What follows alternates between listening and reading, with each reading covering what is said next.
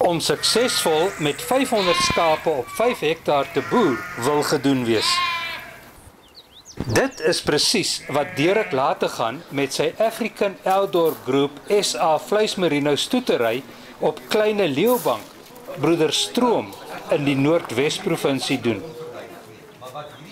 Hy het oor die afgelope 7 jaar 'n intensiewe minimumbeweidingstelsel ontwikkel waar hidroponies geproduseerde gars die hoofvoedingselement is.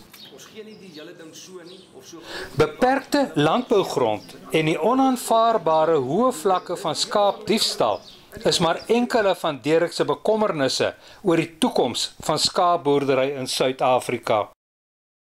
1 die droogtes. En as gevolg van droogtes moet ons kyk om groenvoer en goedkoop voeding te kan produseer reg deur die jaar. Daarmee hidrofoniese garskamer.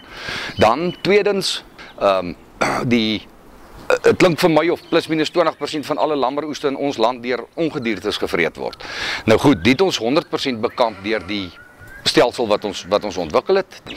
Dan die ehm um, volgende aspek wat 'n baie belangrike aspek is, is die feit dat die boer vandag 'n prysnemer is en nie 'n prysmaker is nie. Dis vir my 'n baie groot probleem.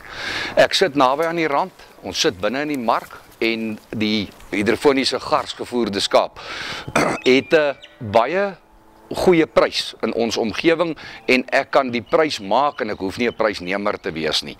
Ek kan fisies nie genoeg skaap produseer vir die mark in ons omgewing nie. Ehm um, die behoefte is so groot dat die geleentheid is enorm vir ander boere om in hierdie saak betrokke te raak.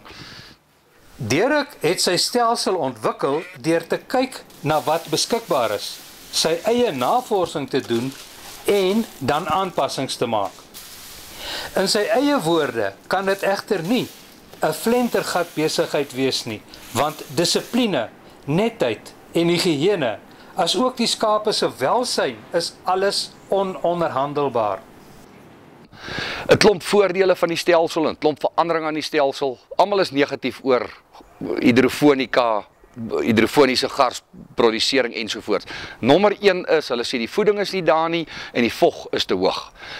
Ek het daarna gaan kyk en gesê maar dan moet 'n plan daar rondom wees. En wat ons gedoen het is ons totale uitgroei metode van die gars is totaal anders.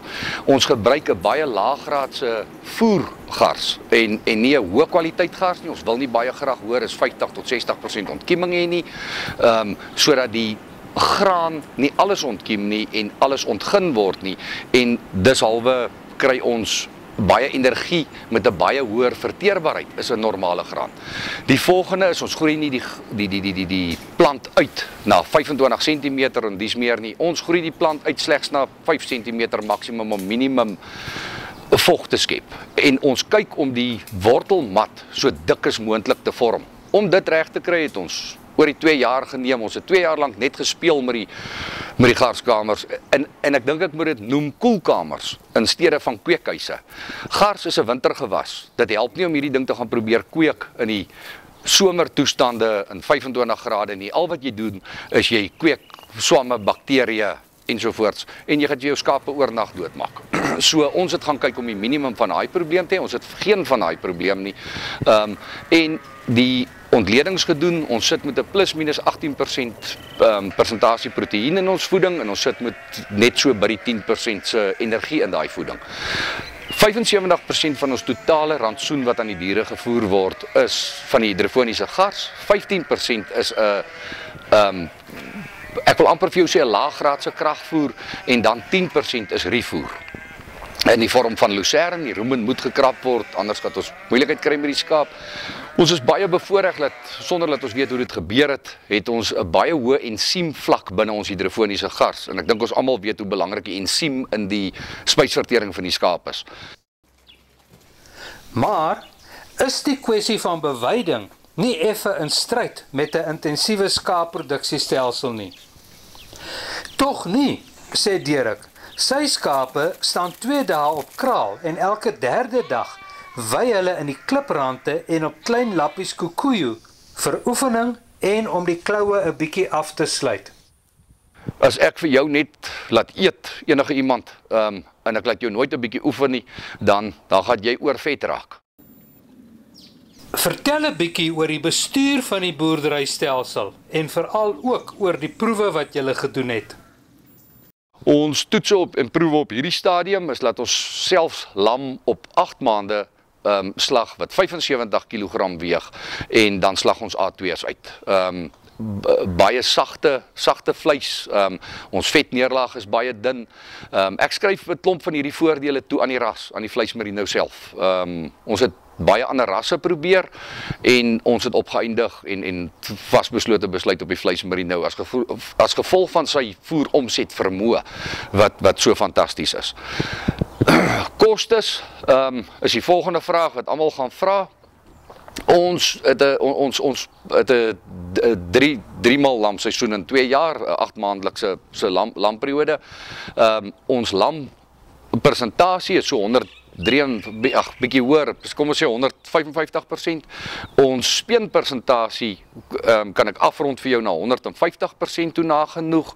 Ehm um, en dit kos ons in die orde van R600 om 1.5 lammers elke 8 maande te produseer. Met ander woorde plus minus R400 per lam. As jy dan gaan ehm um, ons speen ons lammers op 60 dae, ehm um, gemiddelde gewig van 25 kg en op 100 die uitskot uit die stoet uit ehm um, verkoop en slag ons. Ehm um, dit gaan nie terug in kuddes in nie en dit is op so 150 dae dan weeg daai diere so net in die 50 kg. Ehm um, wat vir ons ongelooflike goeie en aanvaarbare resultate is en outomaties kry ons meer as die markverwante slagprys vir vir vir vir ons karkasse. Ehm um, en die ding werk vir ons 100% ekonomies. Wat die arbeid aanbetref, ons het die arbeid geminimaliseer. Ons het 3 arbeiders waarmee ons die 500 skaap boer. Dit neem ons 'n uur en 'n half per dag om die ehm um, hidrofoniese garskamer te plant, te oes en ook die skape te voer. Ehm um, dit werk vir ons fantasties. Ons geniet dit. Dit is baie lekker. Uh nou ek dink wat belangrik is is iemand moenie net die sukses van wat hier by ons gebeur raak sien in die aspek van die hidrofoniese garskamer nie. Dit gaan rondom die totale stelsel, die besparing van energie. Uh ooi wat gaan wy ehm um, verbrand nagenoeg 40% van haar energie deur te wy. Ehm um, ons het daai besparing deur die minimum bewydingstrategie. Die netheid is absoluut belangrik. Ehm um, ons het nie swamme parasiete nie. Ons bedryf die stelsel as basiese kwarantynstelsel. Daai probleme is nie daar nie. In die afgelope 6 jaar het ons basies nog net skape verloor aan geilheid van oorvoer. Um, ons voer die skape op die oomblik 1.8 kg gemiddeld. Die gemiddelde voer rantsoen is 1.8 kg nat per dag vir die totale seisoen uh wat sy 'n lam produseer en dan het ons aan Bloutong ook ook diere al verloor. Maar sekerlik het hierdie boerdery tog ook sy uitdagings. Die een negatief is die kloue. Ons is hier in kliprande, so dit help om die om die uh, hoe wat 'n kloue 'n bietjie te sluit, maar ons moet kloue sny. Daarmee Teltek ons gehelp en ons het 'n spesiale masjien ontwerp wat die diere maklik omdop, ehm um, sodat die die die die werking daarvan maklik is. En ehm um, dan ons volgende probleem is ons diere is basies oorvet na met speen. Ehm um, ons doen raak in die paring, ons doen net natuurlike paring, uh, ooi 'n uh, uh, ram met 25 oeye in 'n kampie.